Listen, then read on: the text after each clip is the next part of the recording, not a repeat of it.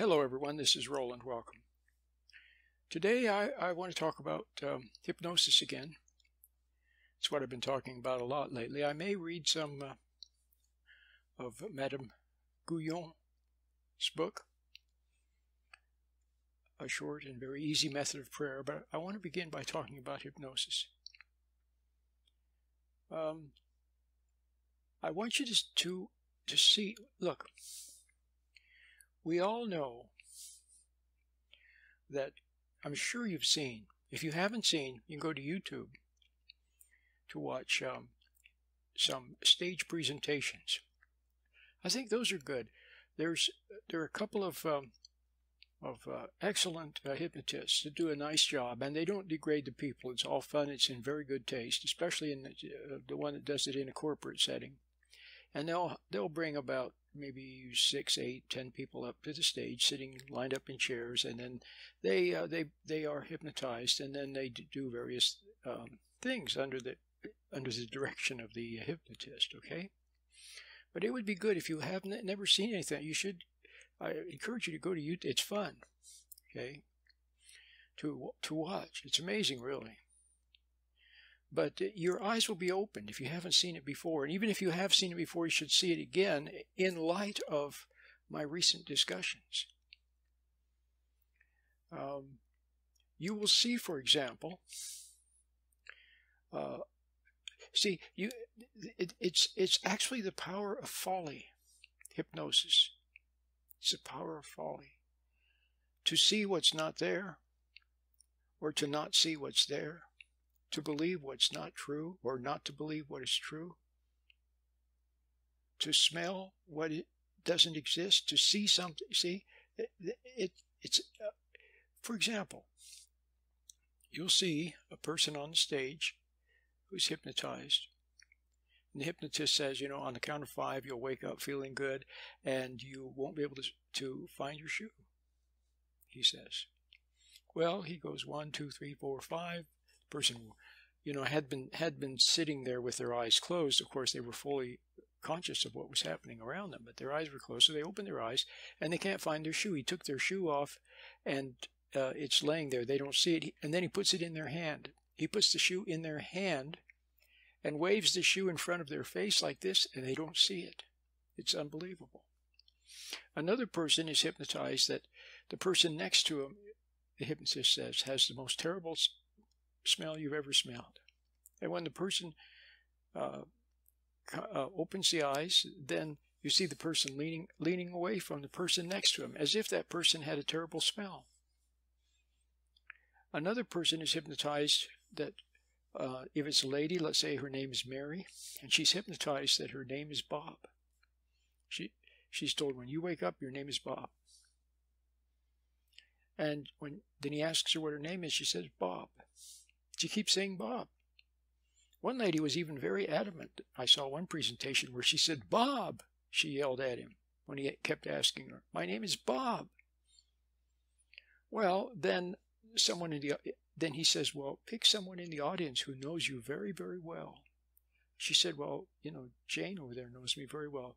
And then the hypnotist says to Jane, who's in the audience, Jane, would you please tell um, this person here what her real name is? And the person says Mary. And uh, the person on the stage says you says to, to, to Jane, you don't even you don't even know my name. See. Well, there's a lot of things like that. One person is hypnotized or stuck to the floor. And then another interesting one, and this is one I'm going to focus on today and for today's discussion. Because a lot of you have physical symptoms. Um, um, he uh, the hypnotist hypnotizes them that they're going to be very cold. And then you see them shivering. And he hypnotizes them that they're going to be hot. And then you it's very very hot. They're in the desert. It's hot. It's hot. And then you see them sweating.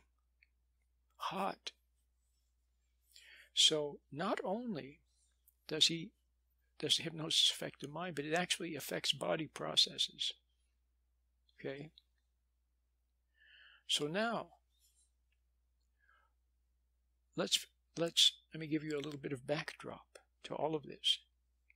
So you say, well, that's interesting. It's on the stage, but that's what that's what happens to everyone that you see all around you is in some level of trance, most of the time, maybe all the time. And why? How, why? Because you see them reacting.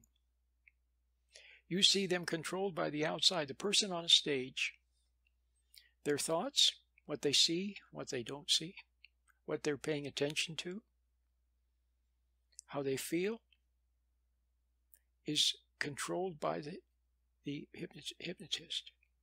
In other words, by the environment. In this case, the, the dominating aspect of the environment is the hypnotist and his or her voice, okay? Well, in life, you, you have reacted and responded to many different people and things, okay?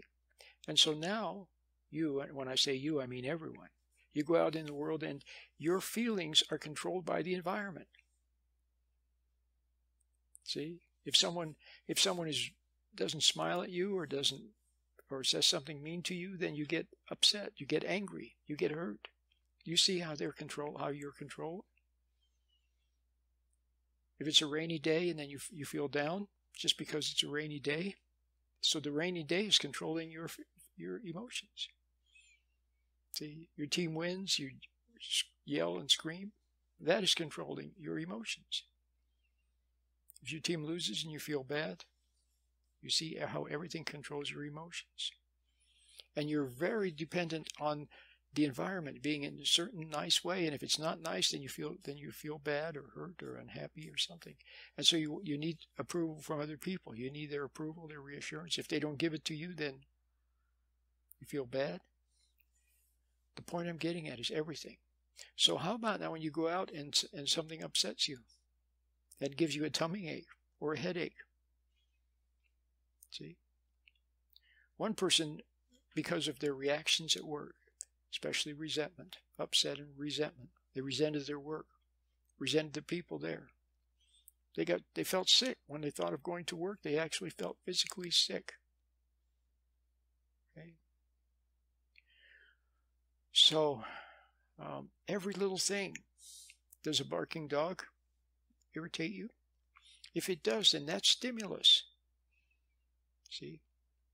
You, you, you're all familiar with if a person thinks of a lemon, then they will begin to, your mouth gets a little bit moist if you think.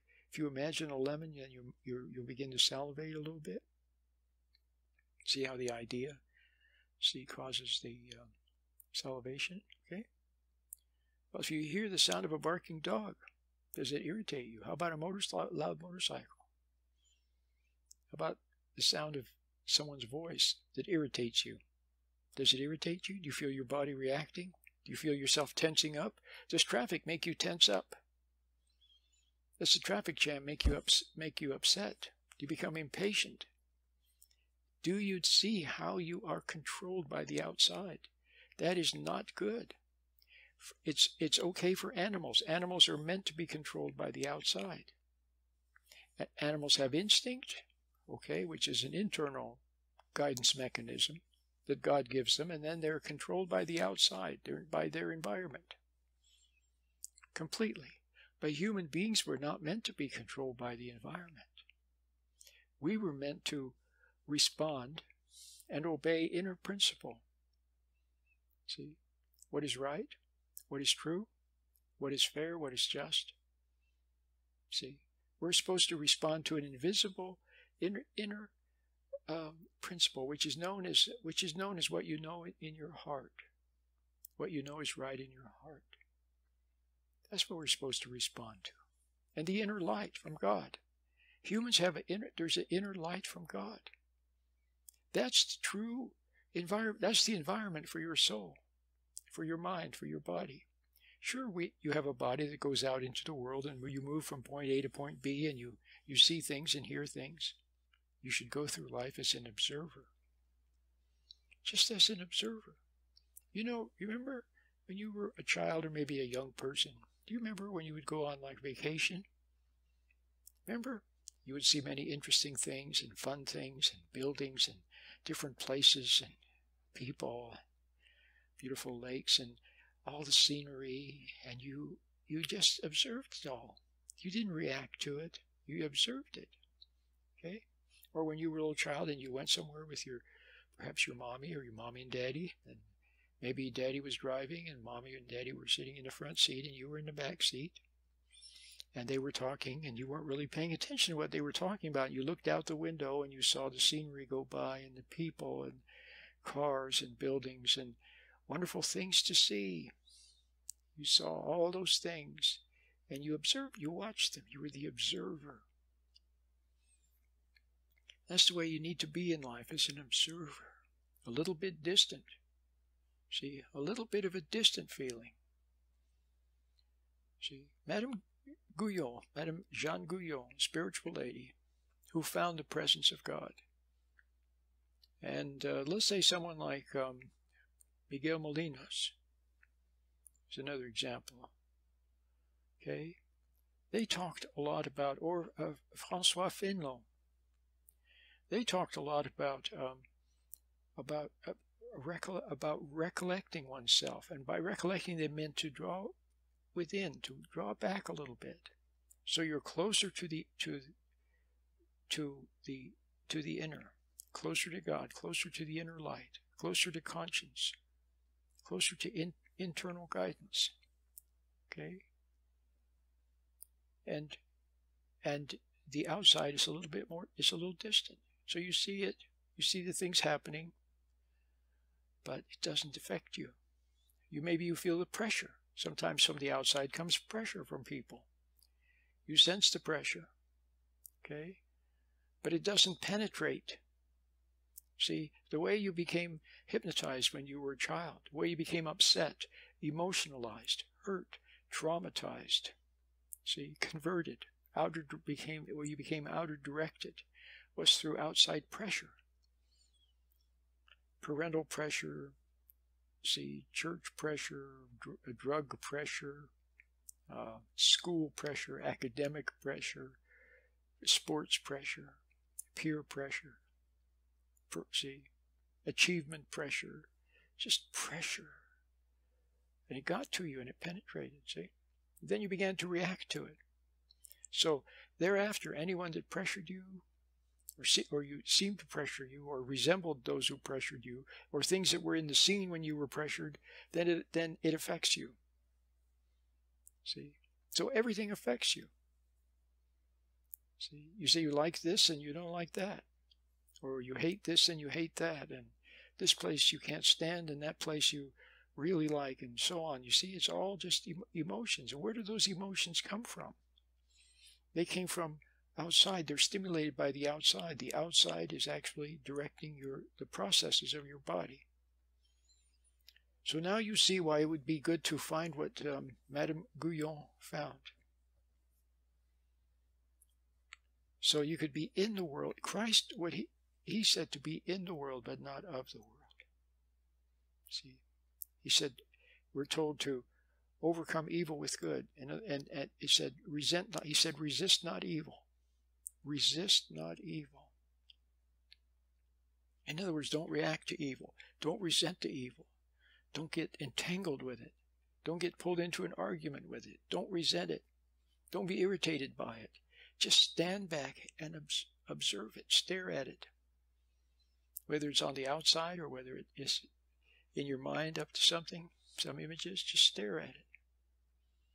But the focus right now is how, how, just how sensitive and how reactive you are. You have no idea how things affect you or you, not only your moods, your emotions, but your very body processes. Okay? So it would be behoove you to learn from Madame Guyon, and you are very fortunate because you also have um, me to help to explain what Madame Guyon was trying to tell us in her wonderful little book. See, so, um, uh, and, and you have the meditation, which I offer. I have free, I I've made it free. I have several meditations. They're all excellent. Some of them are more elaborate. They're just excellent. And they have a book, books with them and everything. Highly recommended, okay? But you can start with the free one. Start with a free meditation. You can learn it in six minutes. It teaches you how to stand back, how to recollect yourself, as Madame Guyon referred to it as, or Miguel Molinos, or Francois Fenelon, and I'm sure St. John of the Cross, or Teresa of Avila, or um, Thomas à Kempis, or Brother Lawrence, or any of these people. I'm sure they would agree, re recollecting oneself, pulling back. Okay? Not not retreating from the world. Not, it doesn't mean retreating from the world. It doesn't mean going into a shell. See, what it means is, as Christ said, to be in the world but not of the world. So me, see, I go out. Uh, see, I have a family. We talk. We do things. I have work. I talk to people. I go places.